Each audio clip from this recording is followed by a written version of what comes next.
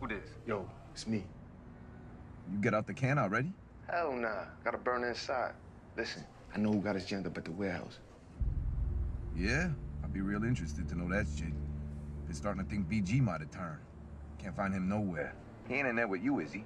Wasn't BG that snitch. BG's dead, man. BG's dead? Did you fucking kill him? No, but I think the same motherfucker that killed him gave up the warehouse. And nigga with the ankle monitor, remember? Y'all was supposed to handle him. Shit went sideways. We went to find a place to put him, came back and your boy sitting there with his fucking head blown off. And the rat nigga was gone. Gotta pay him with Fizzy. And you just telling me this shit now? When the fuck was I supposed to tell you? You see me get jammed up. How I know you even still inside? Maybe you're trying to pin all this shit on somebody after you made a deal to get out. Fuck out of here. You know I'm a soldier. Just check the intake records at the MCC. The nigga you want is on the street and you need to get got.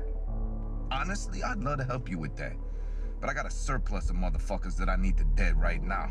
And as it turns out, somebody from inside my operation dropped Pancho's body on me, so I can't trust none of y'all motherfuckers no more. Catch you in 20, homie.